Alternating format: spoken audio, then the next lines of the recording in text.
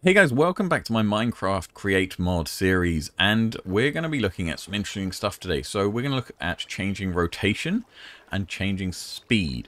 Now, these are really important, and there are a few different ways you can do it. So let's get straight into that and looking at the Minecraft Create Mod again. There'll be times when you want to change the rotation of your shafts. Now, there are a few different ways you can do that, and I think I've mentioned one already. So the first one is by using two cogs. Now you notice that this shaft is moving the opposite way to this one. So that is one way you can do it, but that means that your shaft itself is moving over one block. And you might not always want that. So we have a few other options.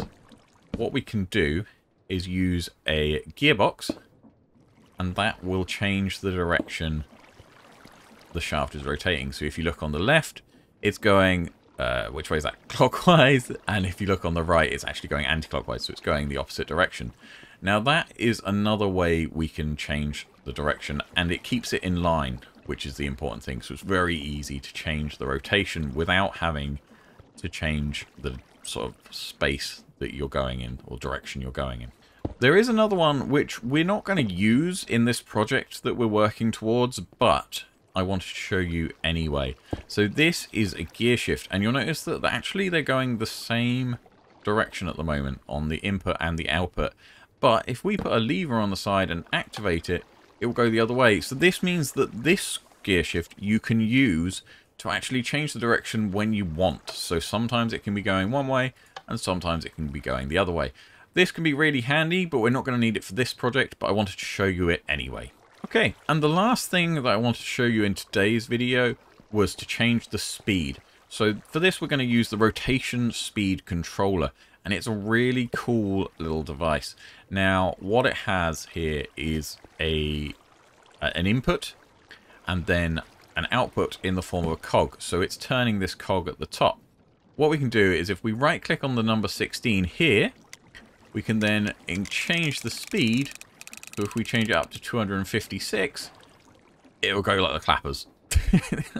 Most of the time, we're probably not going to need that kind of speed, but you can definitely increase it to something manageable. So we've taken it from 16 up to 64, which is quite good as well. You can, of course, go the other way down to 1, and then it's incredibly slow. I don't know where you would need that, but you might need it at some point. I like 64. I find that's a good speed. But yeah, that's how you can change the speed of your input, and then obviously you can take an output from your uh, from your cog there. So we've now changed the rotation and the speed, and if we wanted to change the rotation of this, so say you build something and this rod here is the wrong one, it's going the wrong way, you can change the whole thing just by putting in a gearbox here, and then it will go the other way. So the whole thing, it functions in the same way. So if you change the direction here, it will change the direction here. That means that if you have outputs on, say, here, you want it to carry on, because this will still be at the 16 times that it went in at, then this one would change as well as that one. If you wanted to just change the output of this one, you would need to put your gearbox on here and then this one would change, but this one would remain the same.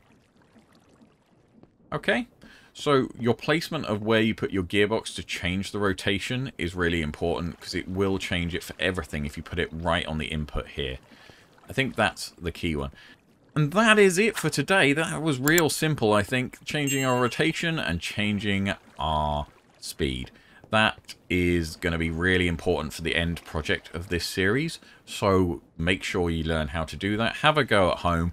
And if you're enjoying this Minecraft Create Mod series, please consider subscribing. It really helps me out and it'll help other people out because when they see that you're subscribed, they will also subscribe. So it will be really handy for everyone wanting to learn about the Create mod.